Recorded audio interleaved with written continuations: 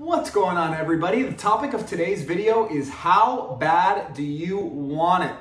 So I want to start today's video off with a quote that I heard or I should say listened to in an audiobook called Built by Titans by Tim Ferriss that I just heard and let me give you that quote now. You must want to become a butterfly so bad that you give up being a caterpillar. I'm to say that for you guys one more time. You must want to become a butterfly so bad that you give up being a caterpillar. Now, to me, what a powerful way for Tim Ferriss to end this book, Built by Titans. So, this book is basically his journey of you know, starting his podcast, starting becoming an angel investor, writing the four hour work week.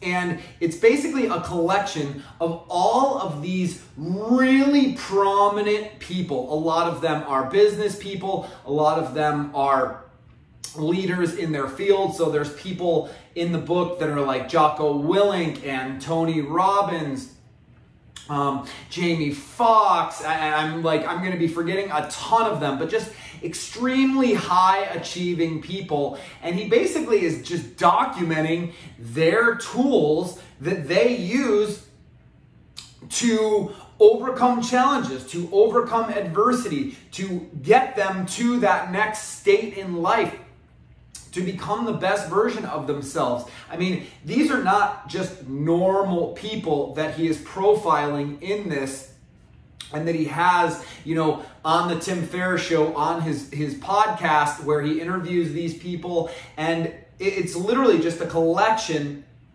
of all of these tools that people use to make their life the best that it can possibly be. And that quote at the end of the book just absolutely stood with me because it is so true. How bad do you want the things that you really want? You could say that you want something, and you could even think that you want something, but your actions will define whether or not that is actually true or not. Because the people that want something versus the people who need something in their life operate on two completely different playing fields. So a want, you know, you might put in you know, let's just say X number of effort or X amount of effort. Whereas if it is a need, it is a requirement, it is something you must have, not only are you going to put in X amount of effort, but you're going to also put in X, Y, and Z because it becomes a necessity. It is something that must happen in your life. So let's talk about this. Where can you apply it? How can you utilize this strategy to empower you to get the things you want and to begin living the lifestyle that you want? So, I'm going to just give one very basic, generic example here to kind of walk you guys through applying this strategy to your life. So, let's just look at the journey of weight loss and getting your body to a point where it is physically fit and you are staying in a peak performance state? Well, you pretty much have to just get to the point to where you have let yourself go enough to the point where it's no longer like, oh, I, I, just, you know, I should really get in shape. I should probably start eating better. Ah, probably, you know what? I'll, I'll, I'm gonna have this milkshake I'll do it next week. I'll start working out and it, it'll be fine. It's no big deal. It needs to go from that to a, oh my God, if I don't take action right now, I am going to stay like this forever. So think about the quote at the beginning. You are going to stay a caterpillar forever if you rest on your laurels, if you get comfy, if you get complacent. So you have to want it bad enough that you're willing to put all of the limiting beliefs and fears behind you. And something that Jamie Foxx was actually quoted for saying in this book, and this is a lesson that he teaches to all of his children, and I absolutely loved this as well, is he said, What is, what is left behind fear? And the answer is nothing.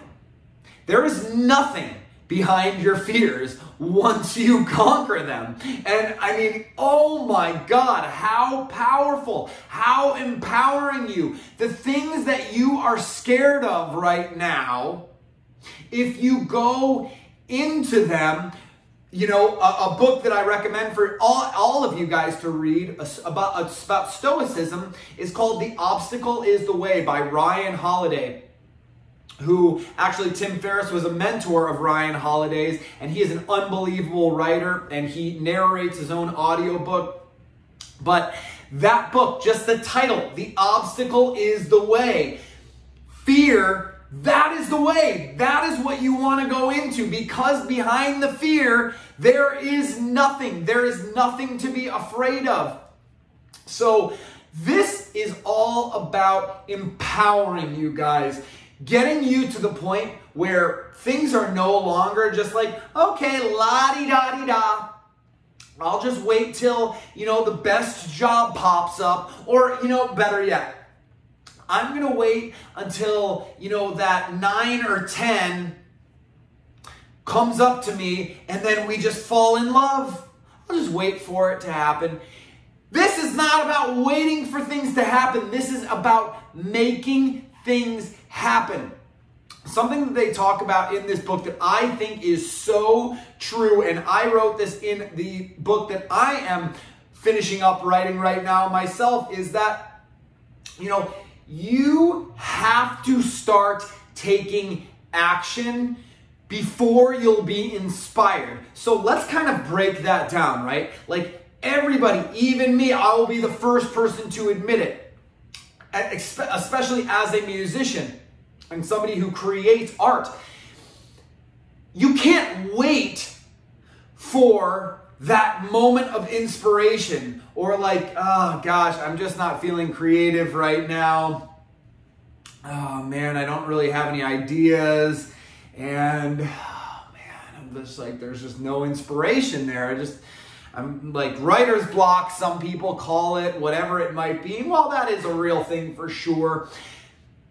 The inspiration comes out of taking the action. So, like right now, if I stop this video and I want to, um, you know, I'm not feeling super motivated to, to, to work on music or write any music, right? But I just sit down at the piano and like I just, you know, tinker around for a little bit.